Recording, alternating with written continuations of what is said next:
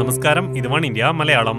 ആഭ്യന്തര യുദ്ധം നടക്കുന്ന സിറിയ ഇന്ന് കുരുന്നുകളുടെ ശവക്കോട്ടയായി മാറുകയാണ്. കഴിഞ്ഞ ഒരു മാസത്തിനിടെ പൊലിഞ്ഞത് നൂറോളം കുരുന്നുകളുടെ ജീവനാണ്. ലോകരാജ്യങ്ങൾ കടുത്ത വേദനയോടെയാണ് ഇന്ന് സിറിയയെ നോക്കി കാണുന്നത് യുദ്ധത്തിനിടയിൽ എന്ത് ചെയ്യണമെന്നറിയാതെ പകച്ചു നിൽക്കുന്ന കുഞ്ഞുങ്ങളുടെ ചിത്രങ്ങൾ കരളലയിക്കുന്നവയാണ്. സാമൂഹ്യ മാധ്യമങ്ങളിൽ ഇപ്പോൾ പ്രചരിക്കുന്ന ചിത്രമാണിത്. സിറിയയിലെ ദമാസ്കസിൽ നിന്നും പത്ത് കിലോമീറ്റർ അകലെയുള്ള കിഴക്കൻ ഗൌട്ടയിൽ ലോകം വിറങ്ങലിച്ചു നിൽക്കുന്ന യുദ്ധം അരങ്ങേറുമ്പോൾ തനിക്ക് ചുറ്റും നടക്കുന്നത് എന്താണെന്നോ എന്തിനാണെന്നോ മനസ്സിലാകാതെ ഫോട്ടോയ്ക്ക് ചിരിച്ച് പോസ്റ്റ് ചെയ്യുന്ന പെൺകുട്ടിയുടെ ചിത്രമാണിത്. സിറിയയിൽ നിരപരാധികൾ ചത്തൊടുങ്ങുമ്പോൾ തന്റെ അച്ഛനും അമ്മയും മരിച്ചതറിയാതെ ഫോട്ടോയ്ക്ക് ചിരിച്ച് പോസ്റ്റ് ചെയ്യുന്ന ഈ കുട്ടിയുടെ ചിത്രം നമ്മുടെ മനസ്സിൽ നിന്നും ഒരിക്കലും ആയില്ല ലോകത്തിന്റെ കണ്ണ് നനച്ചിരിക്കുകയാണിവൾ. വിമതരുടെ ശക്തി ദുർഗമായ കിഴക്കൻ ഗൗട്ട മേഖലയിൽ റോക്കറ്റ് ആക്രമണവും ഷെൽ വർഷവും ശക്തമാക്കിയതോടെയാണ് സിറിയ വീണ്ടും യുദ്ധത്തിന്റെ തീവ്രതയിലേക്ക് കടന്നത്.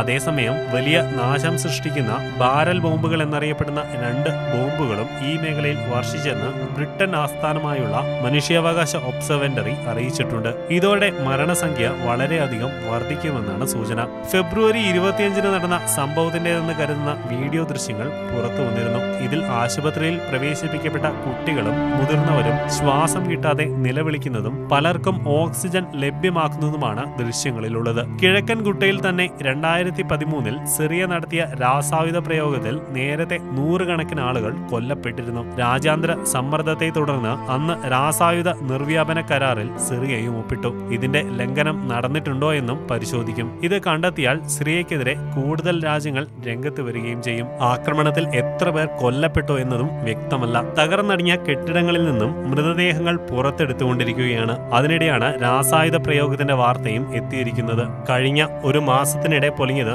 നൂറോളം കുരുന്നുകളുടെ ജീവനാണ്. ലോകരാജ്യങ്ങൾ കടുത്ത വേദനയോടെയാണ് ഇന്ന് സിറിയയെ നോക്കിക്കാണുന്നത്.